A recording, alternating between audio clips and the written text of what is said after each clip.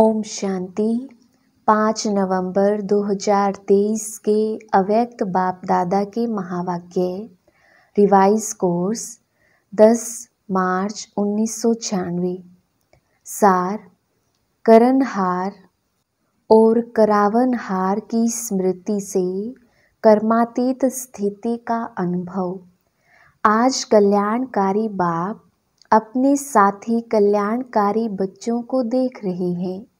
सभी बच्चे बहुत ही लगन से, प्यार से विश्व कल्याण का कार्य करने में लगे हुए हैं। ऐसे साथियों को देख बाप दादा सदा वाह साथी बच्चे वाह, यह गीत गाते रहते हैं। आप सभी भी वाह वाह के गीत गाते रहते हो ना? आज बाप दादा ने चारों ओर के सेवा की गति देखी। साथ में स्व पुरुषार्थ की भी गति को देखा। तो सेवा और स्व पुरुषार्थ दोनों के गति में क्या देखा होगा? आप जानते हो, सेवा की गति तीव्र है व स्व पुरुषार्थ की गति तीव्र है? क्या है? दोनों का बैलेंस है? नहीं है। तो विश्व परिवर्तन की आत्माओं को व प्रकृति को ब्लेसिंग कब मिलेगी? क्योंकि बैलेंस से जो आप सभी को ब्लेसिंग मिली है, वह औरों को मिलेगी। तो अंतर क्यों? कहलाते क्या हो? कर्म योगी व सिर्फ़ योगी? कर्म योगी होना तो पक्का है? तो सेवा भी कर्म है ना? कर्म में आते हो, बोलते हो व दृष्टि देते हो, कोर्स कराते हो, म्यूज़ियम समझाते हो यह सब श्रेष्ठ कर्म अर्थात सेवा है। तो कर्म योगी अर्थात कर्म के समय भी योग का बैलेंस। लेकिन आप खुद ही कह रही हो कि बैलेंस कम हो जाता है। इसका कारण क्या? अच्छी तरह से जानते भी हो। नई बात नहीं है। बहुत पुरानी बात है। बाप दादा ने देखा कि सेवा व कर्म और स्व पुरुषार्थ अर्थात योग युक्त तो दोनों का बैलेंस रखने के लिए विशेष एक ही शब्द याद रखो, वह कौन सा बाप करावनहार है और मैं आत्मा, मैं फलानी नहीं, आत्मा करणहार हूँ। तो करण करावनहार, यह एक शब्द आपका बैलेंस बहुत सहज बनाएगा। स्व पुरुषार्थ का बैलेंस या गति कभी भी कम होती है? उसका कारण क्या? करण हार के बजाय मैं ही करने वाली या वाला हूँ। करण हार के बजाय अपने को करावन हार समझ लेते हो। मैं कर रहा हूँ। जो भी जिस प्रकार की भी माया आती है, उसका गेट कौन सा है? माया का सबसे अच्छा सहज गेट जानते तो हो ही। मैं। तो यह गेट अभी पूरा बंद नहीं किया है। ऐसा बंद करते हो जो माया सहज ही खोल लेती है और आ जाती है। अगर करण हार हूँ तो कराने वाला अवश्य याद आएगा। कर रही हूँ, कर रहा हूँ, लेकिन कराने वाला बाप है। बिना करावन हार के करनहार बन नहीं सकते। डबल रूप से करावन हार की स्मृति चाहिए एक तो बाप करावन हार है और दूसरा मैं आत्मा भी इन कर्मेंद्रियों द्वारा कर्म कराने वाली हूँ। इससे क्या होगा कि कर्म करते भी कर्म के अच्छे या बुरे प्रभाव में नहीं आएँगे। इसको कहते हैं कर्मातीत अवस्था। आप सबका लक्ष्य क्या है? कर्मातीत बनना है ना? या थोड़ा थोड़ा कर्म बंधन रहा तो कोई हर्जा नहीं।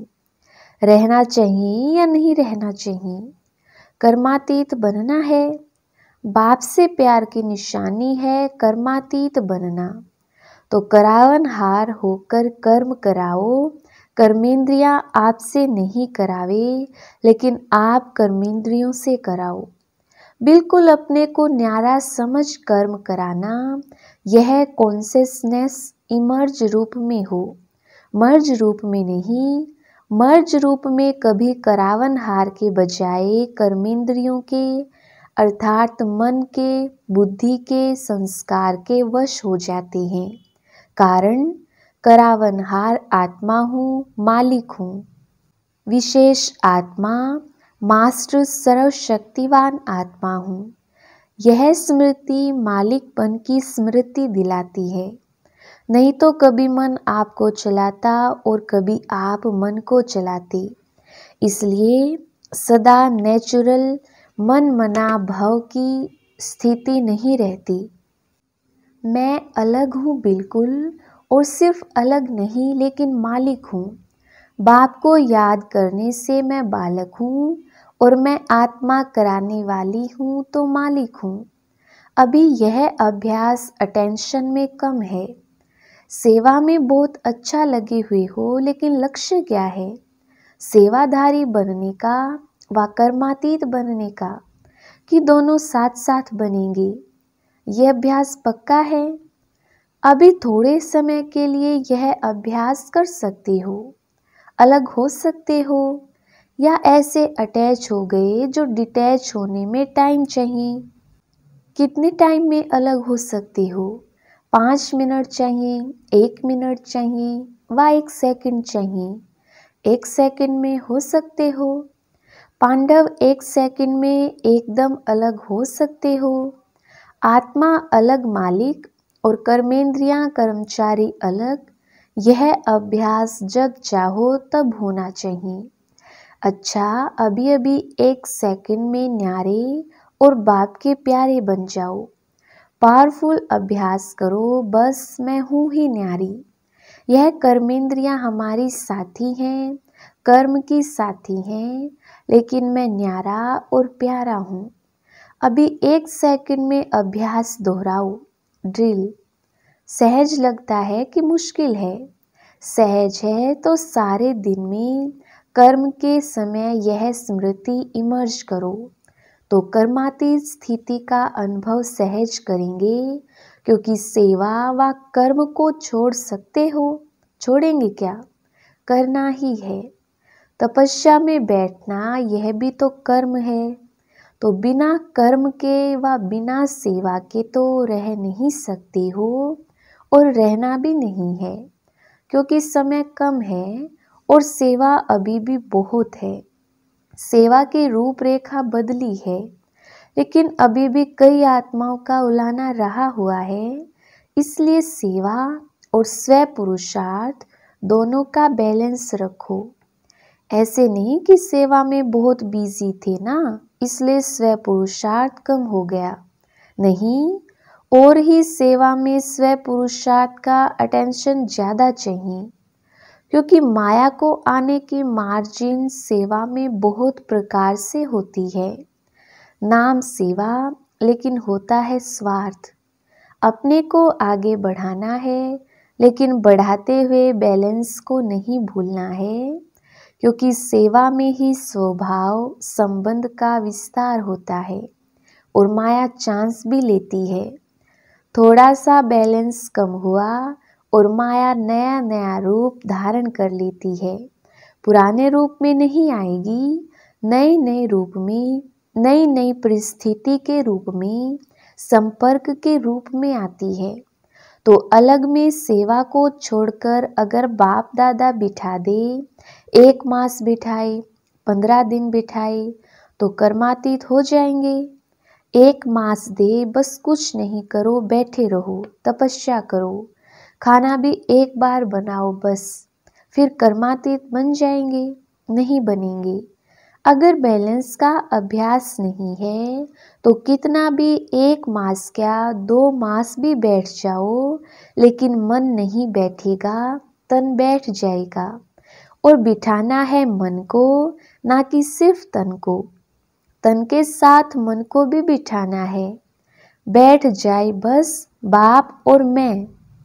दूसरा ना कोई तो एक मास ऐसी तपस्या कर सकते हो या सेवा याद आएगी।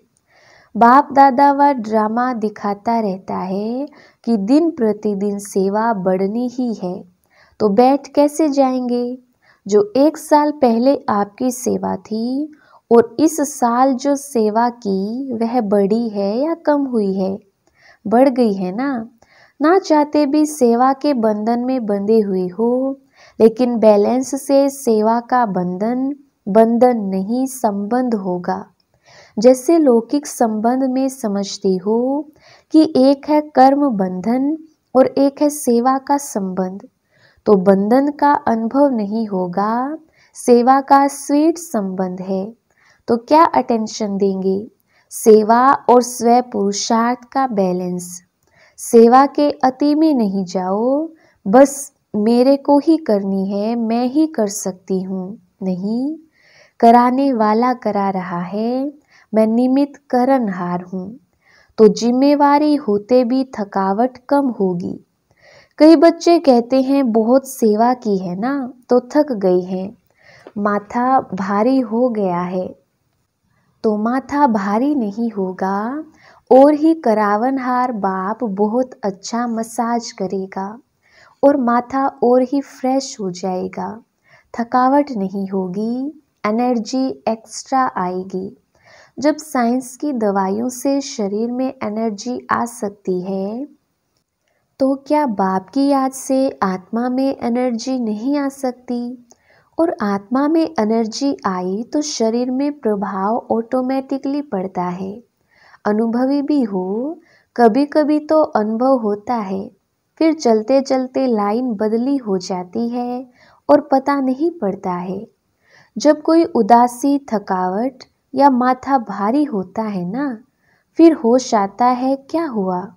क्यों हुआ? लेकिन सिर्फ़ एक शब्द, करणहार और करावनहार याद करो। मुश्किल है या सहज है? बोलो हाँ जी। अच्छा अभी नौ लाख प्रजा बनाई है। विदेश में कितने बने हैं? नौ लाख बने हैं और भारत में बने हैं, नहीं बने हैं। तो आप ही समाप्ति के कांटे को आगे नहीं बढ़ने देते। बैलेंस रखो, डायमंड जुबली है ना तो खूब सेवा करो। लेकिन बैलेंस रख कर सेवा करो तो प्रजा जल्दी बनेगी, टाइम नहीं लगेगा। प्रकृति भी बहुत थक गई है, आत्माएँ भी निराश हो गई हैं। और जब निराश होते हैं तो किसको याद करते हैं? भगवान बाप को याद करते हैं। लेकिन उसका पूरा परिचय ना होने के कारण आप देवी देवताओं को ज़्यादा याद करते हैं। तो निराश आत्माओं की पुकार आपको सुनने में नहीं आती। आती है कि अपने में ही मस्त हो मर्सीफुल हो ना? बाप को भी क्या कहते हैं? मर्सीफुल। और सब धर्म वाले मर्सी ज़रूर मांगते हैं। सुख नहीं मांगेंगे, लेकिन मर्सी सबको चाहिए। तो कौन देने वाला है? आप देने वाले हो ना, या लेने वाले हो? लेकर देने वाले। दाता के बच्चे हो ना तो अपने भाई बहनों के ऊपर रहमदिल बनो और रहमदिल बन सेवा करेंगे। तो उसमें निमित भाव स्वतः ही होगा। किसी पर भी चाहे कितना भी बुरा हो, लेकिन अगर आपको उस आत्मा के प्रति रहम है तो आपको उसके प्रति कभी भी घृणा या ईर्ष्या या क्रोध की भावना नहीं आएगी। रहम की भावना सहज निमित भाव इमर्ज कर देती है। मतलब का रहम नहीं, सच्चा रहम। मतलब का रहम भी होता है। किसी आत्मा के प्रति अंदर लगाव होता है और समझते हैं रहम पड़ रहा है तो वह हुआ मतलब का रहम। सच्चा रहम नहीं, सच्चे रहम में कोई लगाव नहीं, कोई देह भान नहीं, आत्मा आत्मा पर रहम कर रही है। देह अभिमान व देह के किसी भी आकर्षण का नाम निशान नहीं। कोई का लगाव बॉडी से होता है और कोई का लगाव गुणों से, विशेषता से भी होता है। लेकिन विशेषता व गुण देने वाला कौन? आत्मा तो फिर भी कितनी भी बड़ी हो, लेकिन बाप से लेवता है। अपना नहीं है, बाप ने दिया है। तो क्यों नहीं डायरेक्ट दाता से लो? इसलिए कहा कि स्वार्थ का रहम नहीं। कई बच्चे ऐसे नाश नखरे दिखाते हैं होगा स्वार्थ और कहेंगे मुझे रहम पड़ता है। और कुछ भी नहीं है, सिर्फ़ रहम है। लेकिन चेक करो, निस्वार्थ रहम है, लगाव मुक्त रहम है। कोई अल्पकाल की प्राप्ति के कारण तो रहम नहीं है। फिर कहेंगे, बहुत अच्छी है ना, बहुत अच्छा है ना, इसलिए थोड़ा, थोड़े की छुट्टी नहीं है।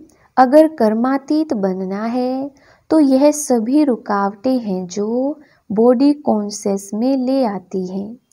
अच्छा है लेकिन बनाने वाला कौन? अच्छाई भले धारण करो, लेकिन अच्छाई में प्रभावित नहीं हो। न्यारे और बाप के प्यारे, जो बाप के प्यारे हैं, वह सदा सेफ़ हैं। समझा?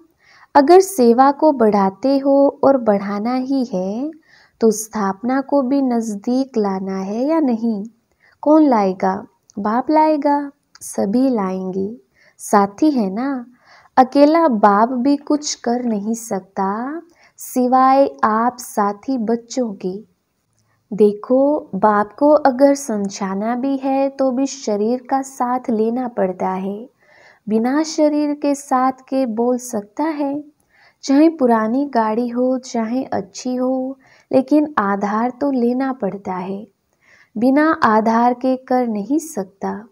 ब्रह्मा बाप का साथ लिया ना, तभी तो आप ब्राह्मण बने। ब्रह्मा कुमार कहते हो, शिव कुमार नहीं कहते हो, क्योंकि निराकार बाप को भी साकार का आधार लेना ही है।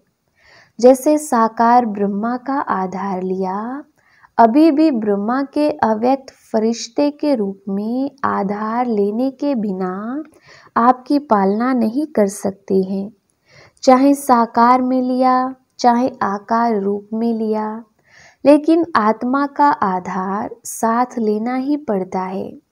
वैसे तो आलमाइटी अथॉरिटी है, जब जादूगर विनाशी खेल सेकंड में दिखा सकती हैं तो क्या आलमाइटी अथॉरिटी जो चाहे वह नहीं कर सकता है?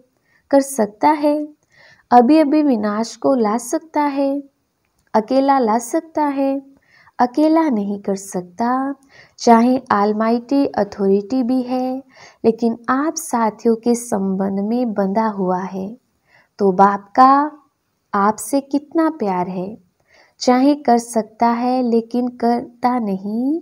जादू की लकड़ी नहीं घुमा सकता है क्या? लेकिन बाप कहते हैं कि राज्य अधिकारी कौन बनेगा? बाप बनेगा क्या? आप बनेंगे। स्थापना तो कर लें, विनाश भी कर लें, लेकिन राज्य कौन करेगा? बिना आपके काम चलेगा।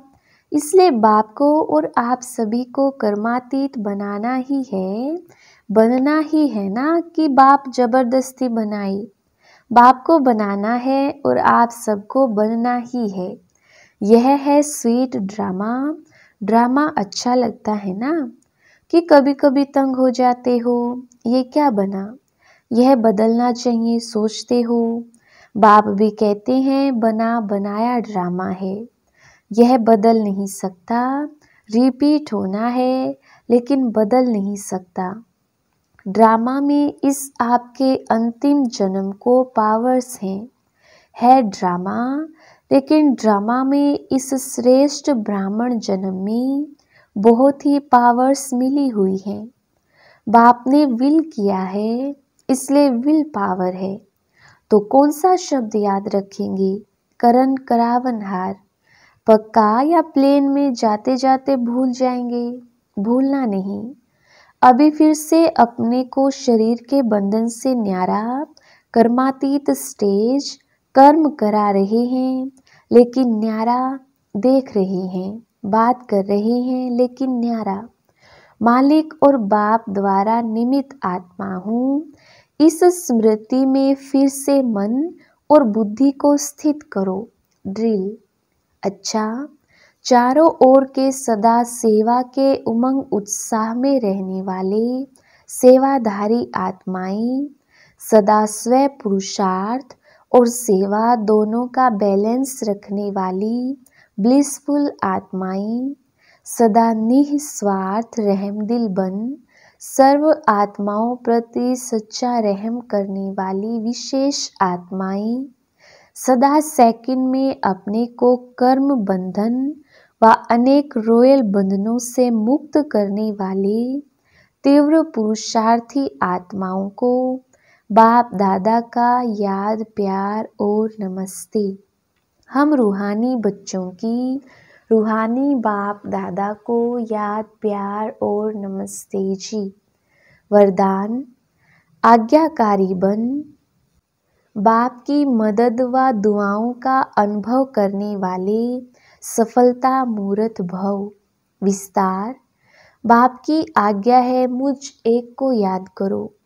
एक बाप ही संसार है, इसलिए दिल में सिवाय बाप के और कुछ भी समाया हुआ ना हो।